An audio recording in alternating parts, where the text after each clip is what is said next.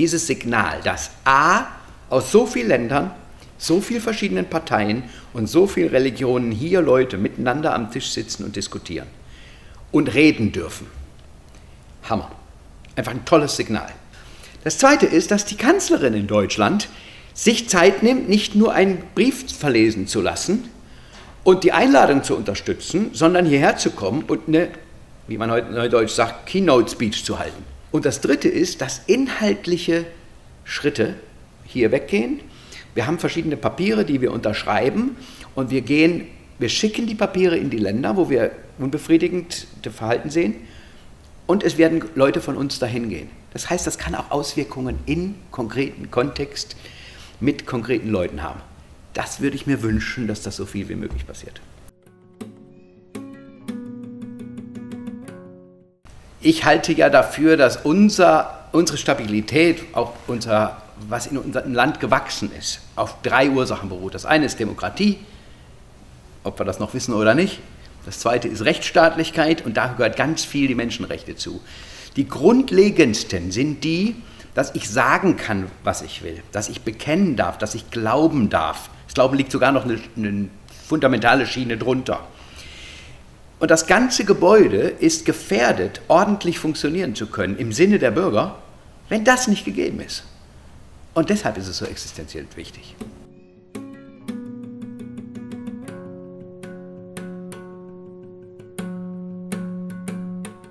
Der Stephanuskreis ist in der letzten Legislaturperiode gegründet worden unter dem Vorsitz damals meiner Mainzer Abgeordneten Kollegin Ute Granold und er widmet sich dem Thema Christenverfolgung und setzt sich allgemein für Religionsfreiheit ein.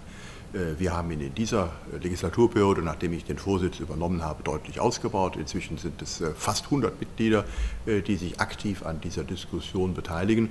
Und wir versuchen, das Thema erst einmal in die Medien zu bringen, mit einer entsprechenden Presse- und Öffentlichkeitsarbeit. Das Thema ist in aller Munde.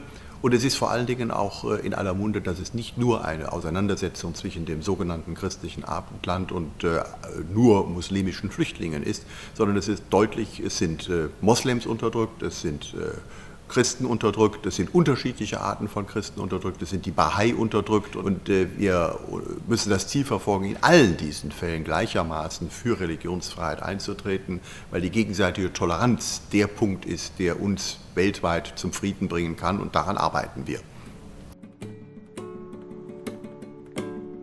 Das spielt an verschiedenen Stellen in diesem Zusammenhang eine Rolle.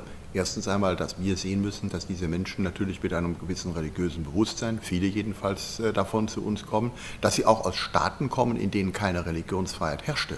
Insofern müssen wir ihnen sagen, hier hat Religionsfreiheit eine doppelte Bedeutung. Erstens, dass sie ihre Religion leben können, wenn sie anders ist als das, was bei uns die Mehrheitsreligion ist, aber andererseits auch, dass hier Toleranz herrscht und Toleranz zu herrschen hat gegenüber anderen Religionen. Wir müssen auch in Deutschland das Bewusstsein dafür stärken, äh, dass äh, gerade was den Islam angeht, es ja auch innerislamische Streitigkeiten sind und dass auch unter Berufung aus dem Islam in erster Linie einmal Moslems verfolgt werden, was vielen in Deutschland hier gar nicht in dieser Deutlichkeit bewusst ist.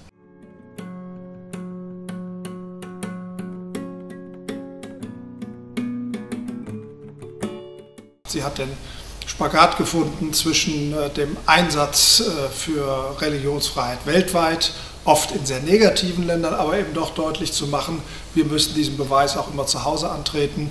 Sie hat äh, deutlich gemacht, dass sie für sie die Religionsfreiheit auch den Islam einschließt, aber gleichzeitig eben auch über die Vollverschwörung gesprochen und wie problematisch äh, die sein kann und also echt Probleme angesprochen. Und sie hat sehr gut den Spagat rübergebracht, dass sie als Christ sich auch gegen Christenverfolgung einsetzt, aber dass sie als Bundeskanzlerin eben die Menschenrechte für alle Menschen vertritt und dass die anderen Religionen mit einschließt.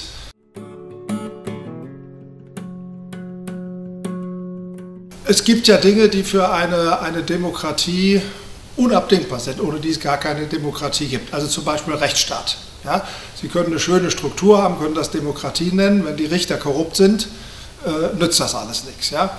Und ich glaube, dass Religionsfreiheit oder genauer die Freiheit von Religion und Weltanschauung, also eben auch keine Religion haben äh, zu können, konstitutiv für die Demokratie ist. Oder anders gesagt, eine funktionierende Demokratie in der die Leute aber nach ihrer Religion diskriminiert werden. Also Widerspruch in sich. Auch im Alltag, ähm, ich kann ja nicht Pressefreiheit haben und nehme also die Religion aus. Ja, also jeder kann also seine Meinung veröffentlichen, außer er ist religiös oder auch nur bestimmte Religionen, dann habe ich keine Pressefreiheit. Wir haben viele Muslime, die kommen hierher wegen Religionsfreiheit. Ja? Und äh, die Ahmadiyas, die Aleviten, also auch aus dem islamischen Bereich haben wir sehr viele, die genießen die Religionsfreiheit hier und die müssen wir auch schützen. Die müssen wir natürlich zum Teil sogar vor anderen Muslimen schützen. Ja? So wie wir eben auch die Synagogen schützen müssen vor wer auch immer deren Freiheit in Frage stellen will. Das gehört immer bei Menschenrechten dazu, dass der Staat sie auch schützt.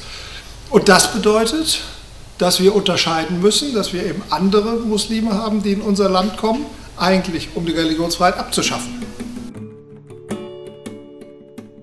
Ich wünsche mir, dass so oft wie davon die Rede ist, dass man nicht foltern soll, eben auch davon die Rede ist, dass man Menschen nicht diskriminieren soll, nur weil sie das eine oder andere glauben oder eben auch gar nichts glauben.